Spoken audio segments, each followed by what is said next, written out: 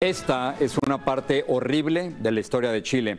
Niños robados al nacer. Al menos 20.000 mujeres sufrieron el robo de sus bebés durante la dictadura de Augusto Pinochet de 1973 a 1990, según una investigación oficial.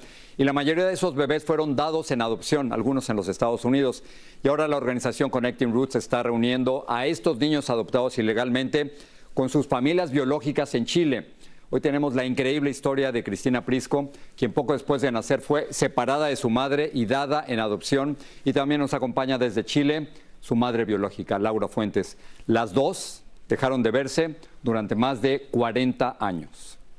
Cristina y Laura, las dos, gracias por estar aquí en el programa y contarnos su historia que es realmente eh, increíble y por otra parte esperanzadora.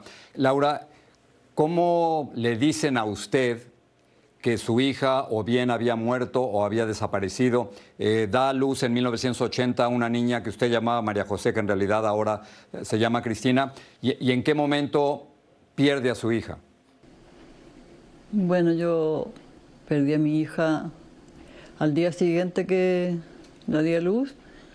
Eh, se quedó conmigo en la noche, el otro día está como a las 11 de la mañana y supuestamente tenía estericia que se había puesto amarilla y desde ese momento la sacaron de mi lado y eh, que la fuera a buscar al otro día porque eh, no se la había pasado. Fui al otro día y ya mi hija no estaba. ¿Ellos dijeron que usted la había dado en adopción? Sí, me dijeron que yo que, andaba buscando niñas y yo la había dado en adopción. ¿Cómo, cómo reaccionó Yo dije que me mostrara un papel que me dijeran muy mal, muy mal. me fui encima de la asistente social que me, echaron, me dijeron que tenía que hablar con ella, que ella me iba a explicar. Y me, me, enfurecí mucho porque me pegué, digamos, le, di el pelo. Entonces yo dije que tenía que eh, decirme dónde estaba mi hija y, de ahí ella llamó a unos guardias y los guardias me sacaron y me tiraron al piso y, yo me paraba y quería entrar a hablar con ella y no me dejaron. ¿Y, ¿Y, usted sabía si su hija estaba viva o muerta por lo menos? Sí, yo sabía que mi hija estaba viva porque yo, a, mí, a mí me la sacaron viva y bien. Cristina, cuéntanos cómo encuentras a tu madre. Em, fue un momento muy, muy fuerte de mi vida y yo, eh, con el ayuda de Connecting Roots, eh, una organización en Chile que se llama Nos Buscamos, eh, ellos encuentran mi familia y mi mamá, mis hermanos, eh, en julio 2022 fue allí por la primera vez que eh, nos juntamos, abrazamos. Era un momento muy fuerte para mí. Laura, ¿me puede contar el momento en que ve a, Cristina o a María José, como usted le había llamado, por primera vez? ¿Cómo es ese abrazo? ¿Dónde ocurre? Eh, bueno, estamos de las 6 de la mañana en el aeropuerto esperándola y fue muy, no sé, como que no era verdad lo que yo estaba viviendo, que mi hija después de 42 años la iba a volver a ver, a reencontrarme, porque ya yo ya había estado con ella y era un reencuentro. Entonces fue muy lindo para mí abrazarla y decir por fin ese anhelo que yo tenía en mi corazón, yo sabía que mi hija estaba viva. Yo sabía, yo, yo sabía que estaba viva, le rogaba a Dios que estuviera bien, que la trataran bien, que no la maltrataran siempre fue esa petición a, Dios y Él me la devolvió. Cristina, ¿cómo, fue ese primer encuentro con tu mamá? ¿Con, un traductor?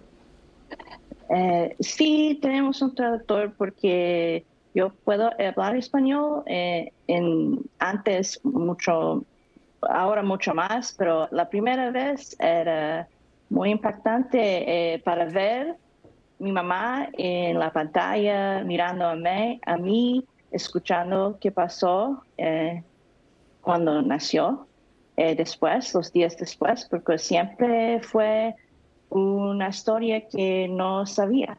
No sé qué pasó en los tres meses después que nació, antes que llegó a los Estados Unidos. Eh, Laura, ¿se, puede recuperar el tiempo perdido? Y me pregunto, ¿qué le queda en el corazón? Si hay resentimiento, si hay nostalgia por el tiempo perdido, eh, si hay deseo de venganza o por el contrario, eso se hace a un lado y se concentra solo en el amor por su hija. ¿Qué, queda? No, el tiempo perdido nunca se va a recuperar. 42 años para mí, una eternidad. y está muy lejos. Nosotros no tenemos los medios como llegar donde ella, entonces eh, yo quisiera estar más con ella para recuperar, digo yo, un poquito el tiempo que, que se perdió, porque lo siento así, ella me hizo mucha falta, mi hija a mí, mucha falta.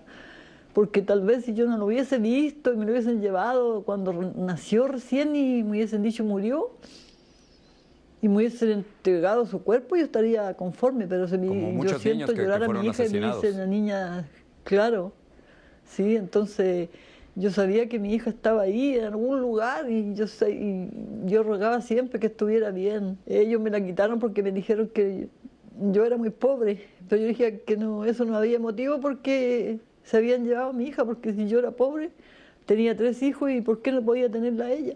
Cristina, ¿cómo, habla, háblame de tus padres adoptivos y cómo te ha cambiado esto la vida. ¿Cómo reaccionaron ellos? Um, ellas estaban muy como con una sorpresa grande porque ellas no sabían nada que adoptaron una hija robada de su mamá ella siempre me, me decía, tú tienes un, un, como una un parte de tu corazón que está, eh, no está. Eh, cuando tú encuentras tu familia biológica, pienso que está lleno otra vez. Tienes dos madres, Cristina, dos mamás.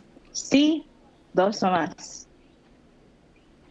Cristina, Laura, las dos, gracias por estar con nosotros, gracias por compartir su increíble historia y ojalá que, que este reportaje y estas entrevistas sirvan para que otros niños y niñas puedan recuperar a sus padres y que otros padres puedan recuperar a sus hijos. Gracias.